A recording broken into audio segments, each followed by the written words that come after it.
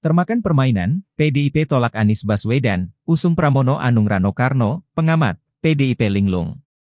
Ketua Umum PDIP Megawati Soekarno Putri menolak Anies Baswedan dan menugaskan Pramono Anung sebagai calon gubernur DKI Jakarta, berduet dengan Rano Karno untuk menghadapi duet Kim Plus Ridwan Kamil Suswono. Pengamat politik dan juga Direktur Lingkar Madani, 5, Indonesia, Ray Rangkuti menilai duet Pramono Rano seharus dihindari bukan dipadukan. Sebab, Rano lebih dekat dengan Jakarta dibandingkan Pramono, karena pernah menjadi wakil gubernur Banten, harusnya Rano lah yang jadi cawagup bukan Pramono. Secara elektabilitas keduanya jauh kalah dari Ridwan Kamil Suswono.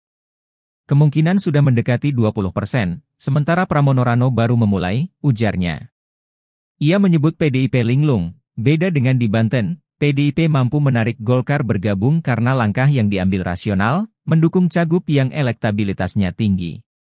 Padahal menurut Ray, jika tidak memilih duet Anis Rano, maka PDIP masih memiliki Basuki Cahaya Purnama alias Ahok dan Risma Triharini.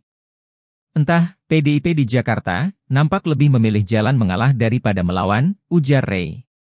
Diketahui, Bendung PDIP Oli Dondong Kambe mengatakan, Megawati memutuskan memilih Pramono Rano dan menolak Anies yang bukan kader PDIP, meski memiliki elektabilitas tinggi dibandingkan Ridwan Kamil Suwono. Pasangan Pranomo Anung dan Rano Karno akan mendaftarkan diri pada Rabu, 28 Agustus 2024, di KPU DKI Jakarta.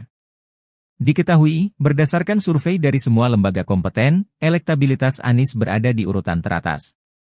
Salah satunya berdasarkan hasil survei Litbang Kompas. Anies mengantongi 29,8 persen, Ahok 20,0 persen, Ridwan Kamil 8,5 persen.